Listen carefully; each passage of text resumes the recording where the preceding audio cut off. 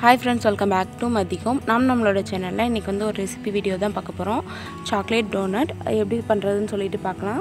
வாங்க இப்போ வீடியோக்குள்ளே போகலாம் அதுக்கு ஃபஸ்ட்டு ஒரு பவுலை எடுத்துகிட்டு ஒரு டேபிள் ஸ்பூன் நிறைய வந்து ஈஸ்ட்டும் அதே அளவுக்கு சேம் குவான்டிட்டியில் வந்து சுகரும் எடுத்திருக்கோம். அது ரெண்டையும் மிக்ஸ் பண்ணிவிட்டு அது கூட லைட்டாக வெது வெதுப்பாக இருக்கக்கூடிய பால் ஆட் பண்ணிக்கலாம். ஆட் பண்ணிவிட்டு இது எல்லாத்தையும் நல்லா மிக்ஸ் பண்ணி விட்டு ஒரு அஞ்சு நிமிஷம் வந்து விட்டுருங்க.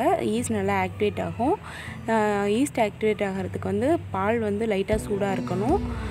இது பால் ஆட் பண்ணிங்கன்னா ரொம்ப நல்லாயிருக்கும் அப்படி இல்லைன்னா சுடு தண்ணி கூட யூஸ் பண்ணிக்கலாம்.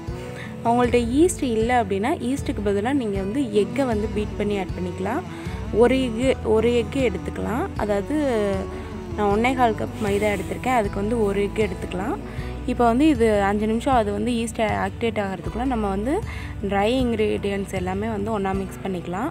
அதுக்கு ஃபஸ்ட்டு நான் வந்து ஒன்றே கால் கப் வந்து மைதா மாவு எடுத்திருக்கேன். அது கூட வந்து கால் கப் வந்து சுகர் எடுத்திருக்கேன். அஞ்சுக்கு ஒரு பங்கு வந்து சுகர் ஆட் பண்ணிக்கணும். ரொம்ப சுகர் ஆட் பண்ணோம் அப்படின்னா நம்மளோட டோனட் வந்து எண்ணெயில் போட்டு பொரிக்கும் போது அது வந்து நல்லா டார்க் ப்ரௌன் கலர் மாறிடும் அது மாதிரி மாறக்கூடாது. ஸோ நம்ம வந்து அஞ்சில் ஒரு பங்கு மட்டும் சுகர் ஆட் பண்ணிக்கலாம். அதுக்கப்புறம் ஒரு பிஞ்ச் வந்து சால்ட்டும் ஒரு பிஞ்ச் வந்து பேக்கிங் சோடாவும் ஆட் பண்ணிக்கணும். ஆட் பண்ணிவிட்டு இது எல்லாத்தையுமே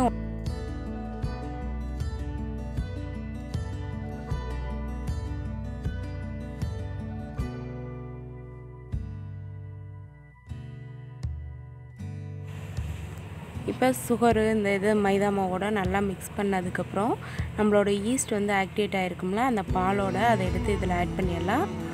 ஆட் பண்ணிவிட்டு இதுவே ஓரளவுக்கு போதும். பத்தலை அப்படின்னா லைட்டாக வாட்ரு ஆட் பண்ணிவிட்டு நல்லா மாவு பிணைய ஆரம்பிச்சிடலாம். மாவு நம்மளுக்கு வந்து நல்லா சாஃப்டாக கிடைக்கணும்.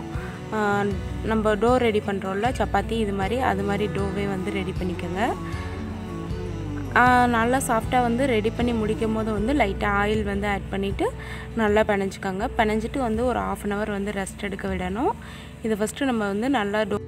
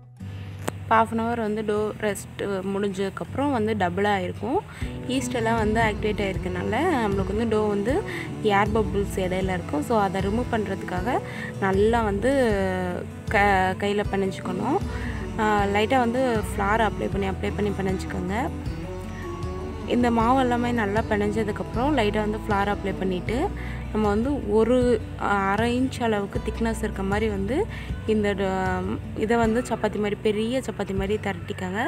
நான் எடுத்திருக்கக்கூடிய ஒன்றே கால் கப் மைதா மாவையும் ஒரே சப்பாத்தி மாதிரி ரெடி பண்ணியிருக்கேன். அப்போ தான் நம்ம வந்து அதில் ஒரு நாலு இல்லைன்னா அஞ்சு டோன டோனட் பண்ணிவிட்டு மீதி வரதை பிணைஞ்சிட்டு மறுபடியும் பண்ண முடியும். ஸோ குட்டி குட்டியாக பண்ணிகிட்டு இருக்கிறதுக்கு இது மாதிரி பண்ணிட்டோம்னா நம்மளுக்கு ஒர்க்கும் ஈஸியாக இருக்கும். அதே நேரம் சேமாகவும் கிடைக்கும். நம்மளுக்கு வந்து ஈவனாக கிடைக்கும். டோனட் எல்லாமே ஒரே அளவில் ஒரே மாதிரி கிடைக்கும். அதுக்காக தான் ஸோ வந்து இது வந்து அரை இன்ச் திக்னஸில் வந்து ஃபுல்லாக வந்து எல்லா சைடும் ஈவனாக இருக்க மாதிரி நான்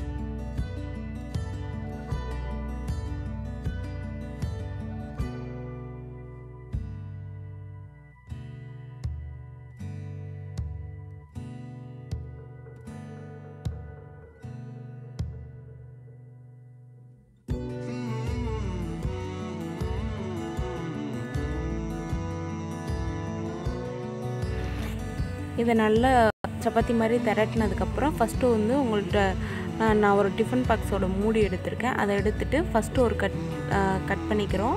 கட் பண்ணிட்டோம் அப்படின்னா நான் நடு சென்ட்ரில் அந்த இது வந்து வட்டமாக விழுந்துரும்ல. உங்கள்கிட்ட டோனட் கட்டர் இருந்துச்சுன்னா அதை கூட யூஸ் பண்ணிக்கலாம். இல்லைங்கும் போது இது மாதிரி ஒரு சி பெரிய சைஸில் ஒரு வட்டமும் அதுக்கு உள்ளே இருக்க மாதிரி ஒரு சின்ன சைஸில் ஒரு வட்டமாக எடுத்துக்காங்க. ஸோ இதை ஃபஸ்ட்டு வந்து வச்சுட்டு நல்லா கட் பண்ணிட்டோம் அப்படின்னா நடுவில் ஃபுல்லாக வந்து இந்த டோ வந்து கட்டாகி வட்டமாக இருக்கும்.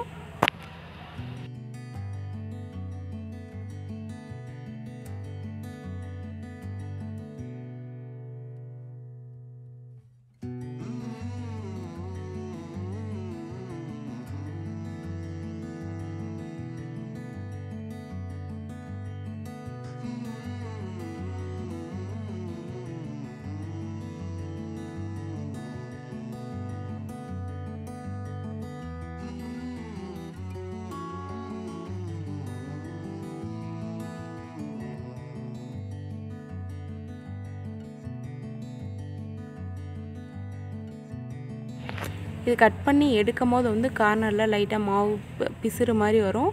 அதெல்லாம் லைட்டாக அழுத்தி விட்டுக்கோங்க. அப்படி இல்லை அப்படிங்கும்போது நம்மளுக்கு வந்து எண்ணெயில் போட்டோடனே பொரியும் போது வந்து அந்த வெடிப்பு விழும். அதாவது கிராக் விலக ஆரம்பிச்சிரும். அப்போ டோனட் வந்து நம்மளுக்கு அதே அந்த ஒரு பதத்துக்கு கிடைக்காது. அந்த வளவலன் மேலே வந்து வளவலன் இருக்குள்ள அது மாதிரி கிடைக்காம போயிடும் கிராக் விழுந்துரும். அதனால தான் சைடில் இருக்கிறத ஃபுல்லாக வந்து நல்லா வந்து ஒட்டி விட்டுருங்க.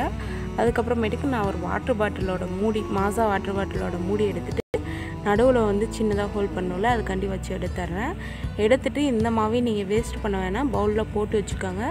இதே மாதிரி இந்த சப்பாத்தியில் ஒரு கார்னரில் பண்ணியிருக்க மாதிரி இந்த சப்பாத்தியில் நான் மூணு டோனட் ரெடி பண்ணிடுறேன் ரெடி பண்ணிட்டோம் அப்படின்னா எக்ஸ்ட்ராவாக சைடில் வரும்ல மாவு அந்த மாவு எல்லாத்தையுமே சேர்த்தி நடுவில் அதே மாதிரி குட்டி குட்டியாக கட் பண்ணி எடுத்தோம்ல அந்த மாவையும் சேர்த்திட்டு மொத்தமாக மறுபடியும் ஒரு தடவை பிணைஞ்சிட்டு அதுக்கப்புறம் இன்னொரு டோனட் பண்ணலாம். இது மாதிரி மீதி ஆகிற மாவு எல்லாத்தையுமே சேர்த்தி சேர்த்தி பிணைஞ்சு நீங்கள் மறுபடியும் மறுபடியும் டோனட் பண்ணலாம்.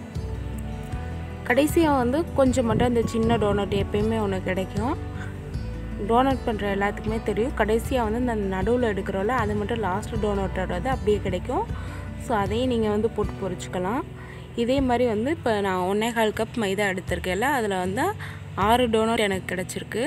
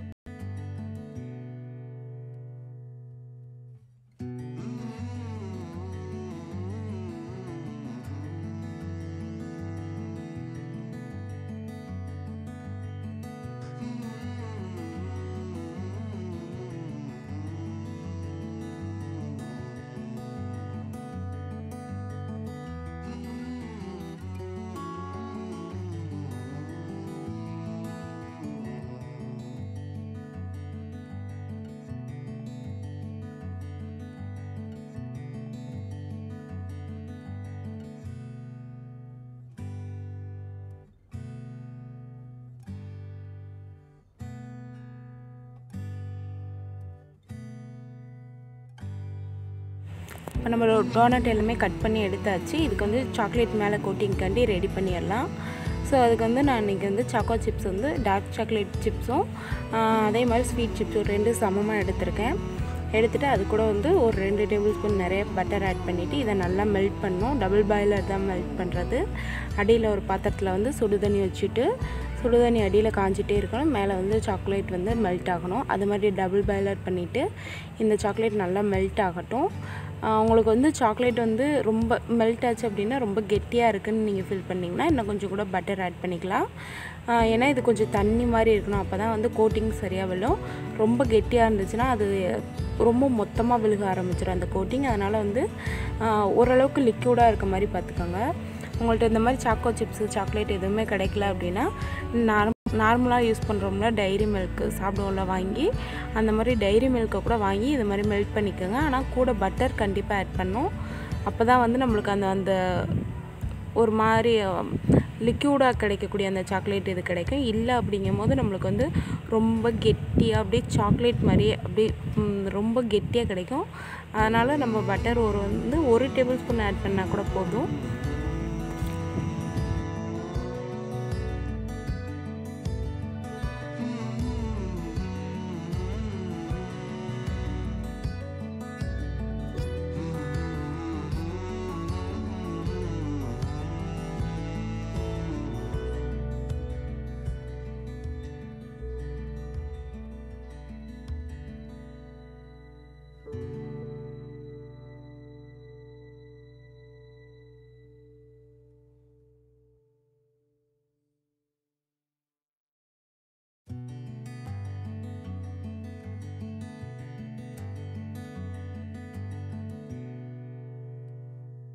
சாக்லேட் நல்லா மெல்ட் ஆகிடுச்சு மெல்ட் ஆகிற அந்த கேப்பில் வந்து நம்ம வந்து ஆயில் வந்து ஹீட் பண்ணிக்கலாம்.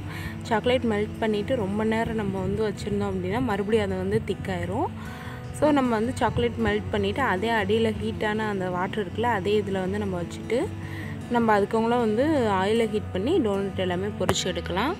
அதுக்கு ஃபஸ்ட்டு ஒரு பேன் வச்சுட்டு அதில் வந்து ஆயில் அப்ளை பண்ணிடலாம். ஆயில் வந்து ஒரு டோனட் முழுகிற அளவுக்கு ஊற்றிக்கோங்க ஏன் அப்படின்னா டோனட் வந்து இப்போ நம்ம போடுறத விட டபுள் சைஸ் ஆகும். ஈஸ்ட்டு நல்லா ஆக்டிவேட் ஆகிருந்துச்சுன்னா ட்ரிபிள் சைஸ் கூட ஆகும். ஸோ வந்து ஆயிலில் வந்து டோனட் நல்லா முழுகுச்சு அப்படின்னா தான் நல்லா வீக்கும் அதனால் ஆயில் வந்து கொஞ்சம் நிறையவே ஆட் பண்ணிக்கோங்க. ஆயில் ஆட் பண்ணிவிட்டேன் இப்போ வந்து அது நல்லா ஹீட் ஆகட்டும்.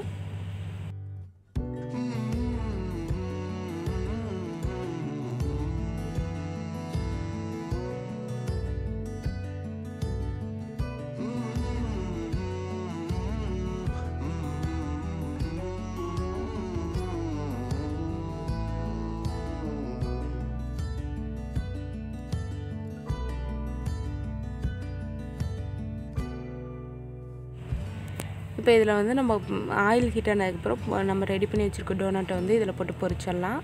அதுக்கு வந்து ஃபஸ்ட்டு லோ லோலேயும் ஹைக்கும் இடையில மீடியம் ஃப்ளேமில் வச்சுக்கோங்க. அப்போ தான் வந்து உள்ளுக்க இருக்க மைதாவும் வேகும். அதே நேரம் கலரும் நல்லா சேஞ்ச் ஆகும். ஸோ கொஞ்சம் அந்த நுரையெல்லாம் அடங்கினதுக்கப்புறம் அந்த ஒரு டார்க் ப்ரௌன் கலர் வந்ததுக்கப்புறம் இடுங்க நான் ஃபஸ்ட்டு வந்து ஒரு டோனட் மட்டும் போட்டு ஆயிலோட டெம்பரேச்சர் பார்த்துக்கிறதுக்காண்டி ஒரு டோனட் மட்டும் போட்டிருக்கேன்.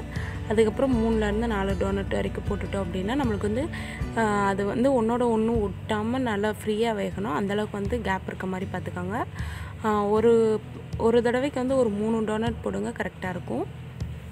ஸோ இது எல்லாத்தையுமே நான் வந்து பொறிச்சு எடுத்துக்கிறேன்.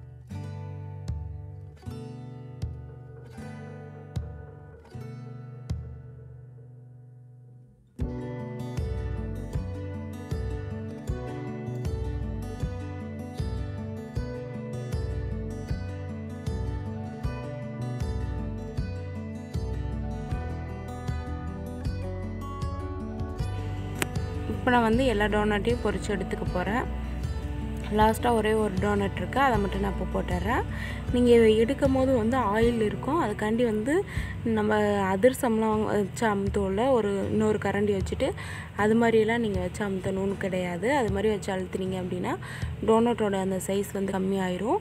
ஸோ லைட்டாக ஆயிலோட தான் இருக்கும். அது வந்து நம்ம சாக்லேட் ஆட் பண்ணுவோம்ல அப்போ சரியாக போயிடும் இது எல்லாமே வந்து ஒரு டிஷ்யூவில் மாற்றிக்கோங்க அப்படி உங்கள்கிட்ட டிஷ்யூ இல்லைன்னா நியூஸ் பேப்பரில் கூட மாற்றிக்கோங்க அப்போ தான் வந்து உங்களுக்கு அந்த ஆயில் எல்லாமே அப்சர்வ் ஆயிரும்.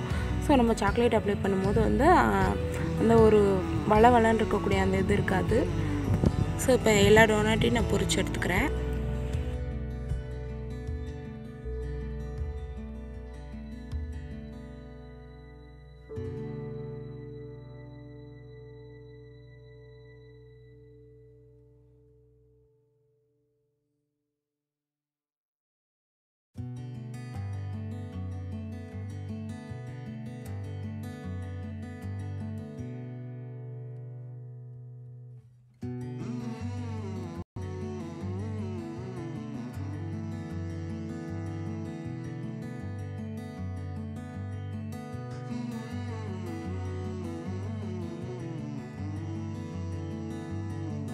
எல்லா டோனட்டுமே பொரிச்சு எடுத்தாச்சு. இது ஒரு அஞ்சு நிமிஷம் நல்லா ஆறட்டும்.